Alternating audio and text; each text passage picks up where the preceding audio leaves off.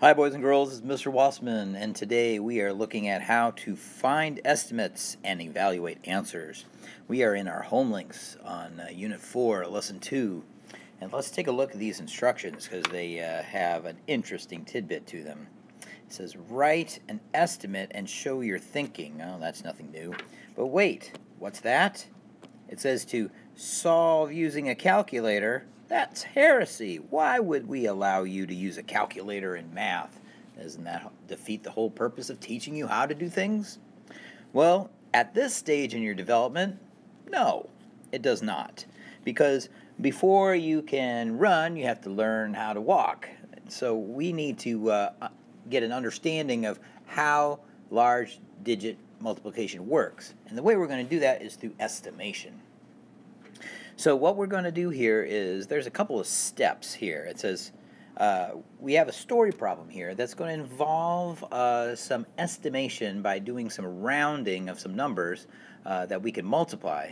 Now, if you recall in the previous lesson for point one, uh, we learned how to extend our multiplication facts by just adding zeros behind single digit numbers, making them into tens and hundreds. And by multiplying the single digits within the tens and hundreds, we can find larger answers. So that's what we're going to do here. We're going to make some estimates, and then we're going to confirm our answers using a calculator. Don't get too comfortable uh, breaking out the calculator uh, when it comes to multiplication later on in this unit. This is kind of a, uh, a one-time thing here. Let's read problem number one. It says, Alice sleeps an average of nine hours per night. A cat can sleep up to 20 hours per day. About how many more hours does a cat sleep in one month than Alice? Now, as a cat owner myself, I can attest to the fact that cats sleep a lot. 20 hours does seem like a lot, but you know, if they're not scurrying about the house, uh, my two cats are usually napping somewhere, catching a sunbeam, uh, sleeping on the couch, trying to sleep in uh, my favorite chair, you know, that sort of thing.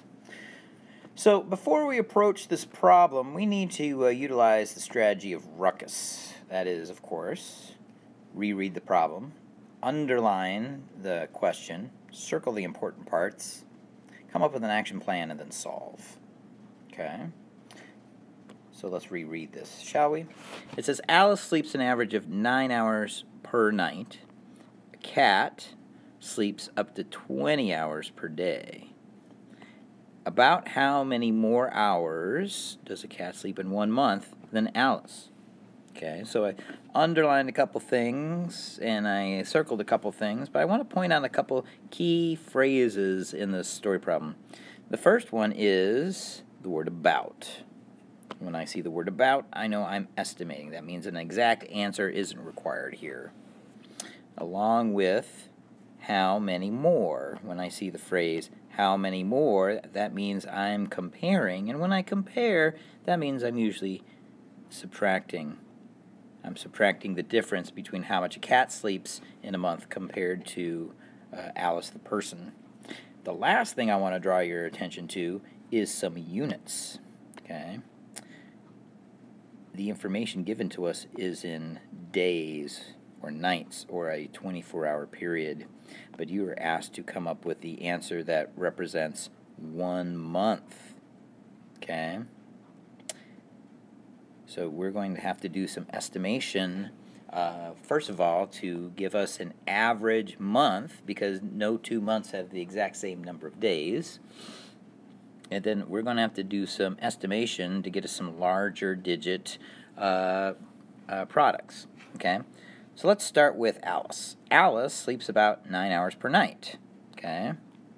So my estimate can start out with the problem nine hours times the number of days that would be within a month. Now, most months either have 30 or 31 days, so I'm going to round to 30 days. Okay? Now, I can round this problem even further by taking the 9 hours of sleep per day and round it to the nearest 10, which would be 10 hours a day.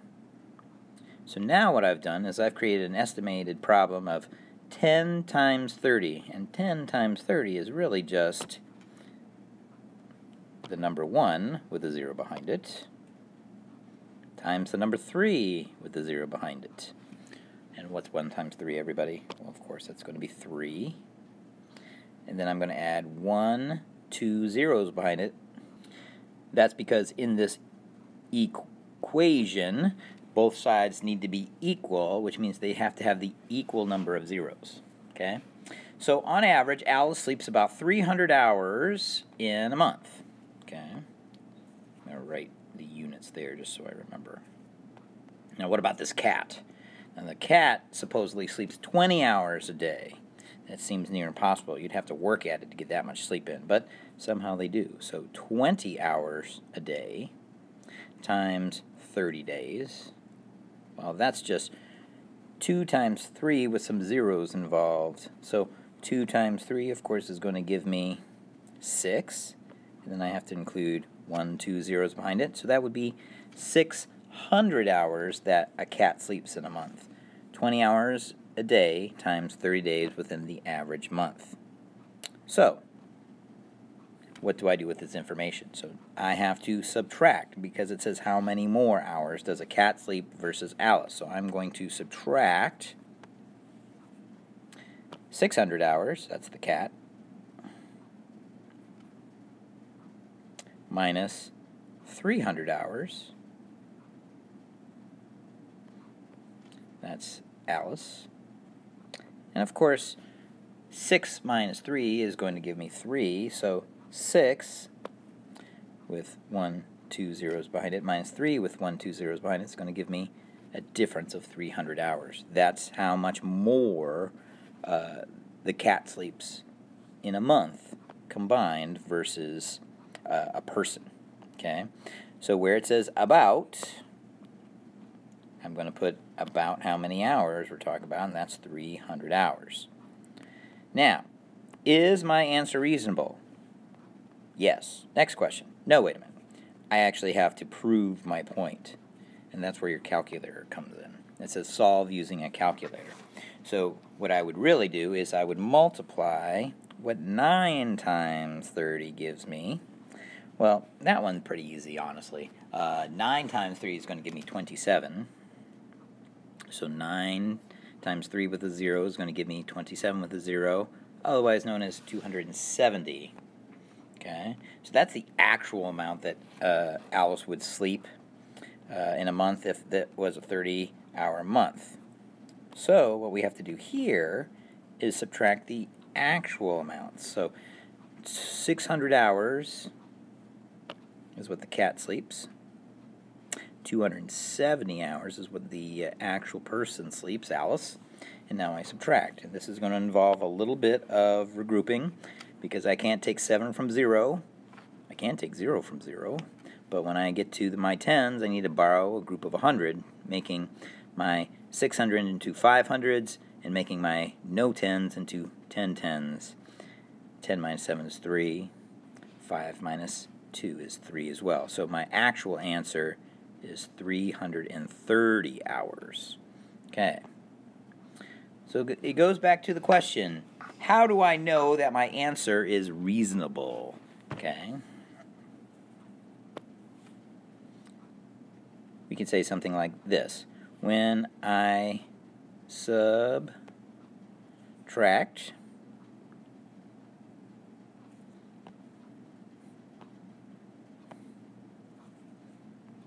the exact products. Products being, of course, the multiplication answers, the difference, that's a subtraction answer, is only off by 30 from my estimate. I write too big, but that's okay. Period. You know, even though we're doing math, we still need to adhere to English conventions. Okay? So when I compare my estimate, which is 300 hours, compared to the actual answer, which is 330 hours, I'm not very far off. So that's a reasonable answer. Is it an exact answer? No. Is it close? Yes. That's what makes it reasonable. If my actual answer was, say, 190 or, say, 600 hours, then my estimate of 300 hours would not be reasonable.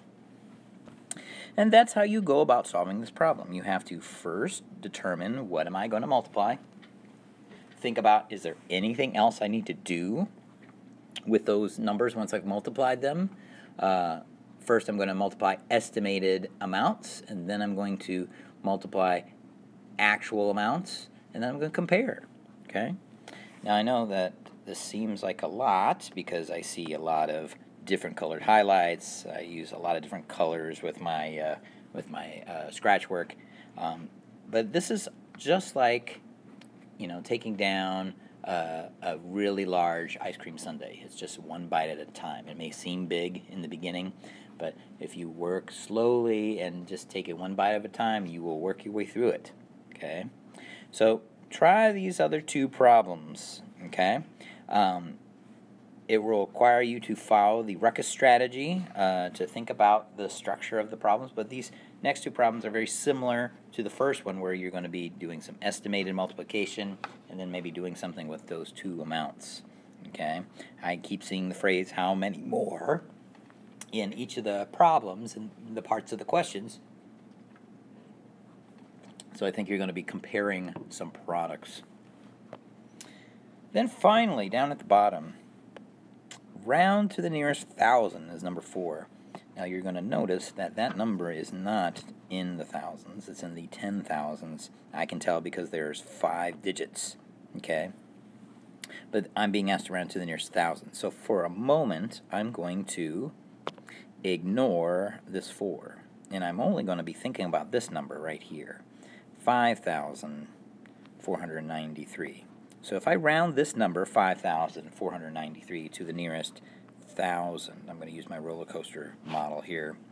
Um, 5,493 falls between two groups of 1,000. They fall between 5,000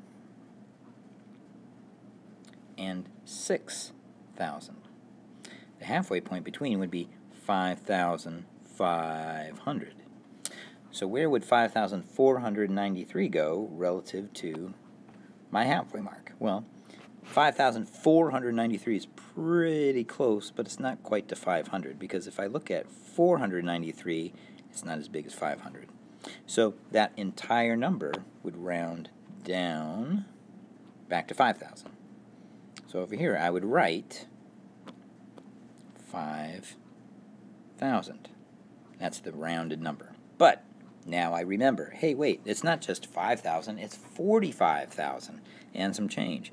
So I have to take that number, 4, that represents the number of tens of thousands, and put it back. Okay? So rounded to the nearest thousand, 45,493 would round down to about 45,000. Okay? Questions? Well, you know what? You've got a math teacher that will be happy to answer them for you. Uh, but you know what? They're not mind readers. So if you have questions and if you don't tell them, they won't help you. Okay? So if you want help, ask for help. There's no harm or embarrassment in asking someone for help, especially when, as a teacher, that's my job. I am here to help. Okay? And I hope this video helped you too. Until we uh, talk again, friends, have a good day.